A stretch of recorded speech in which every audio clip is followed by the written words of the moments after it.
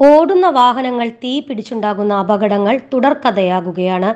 ഇത്തരം അപകടങ്ങൾ ഒഴിവാക്കാൻ എന്താണ് ചെയ്യേണ്ടത്? വാഹനത്തിന് കൃത്യമായ മെയിന്റനൻസ് ഉറപ്പുവരുത്തുക. എളുപ്പം തീ പിടിക്കാവുന്ന വസ്തുക്കൾ വാഹനങ്ങളിൽ കൊണ്ടുപോകരുത്. വാഹനങ്ങളിൽ ഇരുന്ന് പുക വലിക്കരുത്. വാഹനത്തിൽ നിന്നും പ്ലാസ്റ്റിക് അല്ലെങ്കിൽ റബ്ബർ കത്തിയ മണം വന്നാൽ അവഗണിക്കരുത്.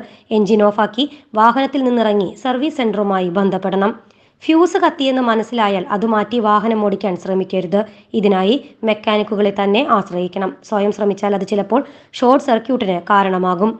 വാഹനത്തിലെ ഇലക്ട്രിക്കൽ ഉൾപ്പെടെയുള്ള ജോലികൾ സ്വയം ചെയ്യാതിരിക്കുന്നതാണ് ഉചിതം. അനാവശ്യ മോഡിഫിക്കേഷനുകൾ നിർബന്ധമായും ഒഴിവാക്കുക. തീ പിടിക്കുന്നുവെന്ന് കണ്ടാൽ ആദ്യം വാഹനം ഓഫാക്കുക. വാഹനത്തിന് തീപിടിച്ചാൽ വാഹനത്തിൽ നിന്നും സുരക്ഷിത അകലം പാലിക്കുക. സീറ്റുകളിലെ ഹെഡ്റസ്റ്റ് ഉപയോഗിച്ച് കാറിന്റെ ജനാല തകർക്കുക. ഹെഡ്റസ്റ്റ് ഊരിയെടുത്ത് അതിന്റെ കൂർത്ത അഗ്രങ്ങൾ കൊണ്ട് കണ്ണാടി പൊട്ടിച്ച് പുറത്തു കടക്കണം. ഒരിക്കലും സ്വയം തീ അണയ്ക്കാൻ ശ്രമിക്കരുത്. തീപിടുത്തത്തിനിടെയുണ്ടാകുന്ന വിഷവായു ജീവൻ അപകടത്തിലാക്കാം. ബോണറ്റിനകത്താണ് തീ പിടിക്കുന്നതെങ്കിൽ ഒരിക്കലും ബോണറ്റ് ഉയർത്താൻ ശ്രമിക്കരുത്. കാരണം കൂടുതൽ ഓക്സിജൻ അവിടേക്ക് ലഭിക്കുന്നതോടെ തീയുടെ കരുത്തും കൂടും. എയറോ ന്യൂസ് അറിവിന്റെ വാർത്താലോകം.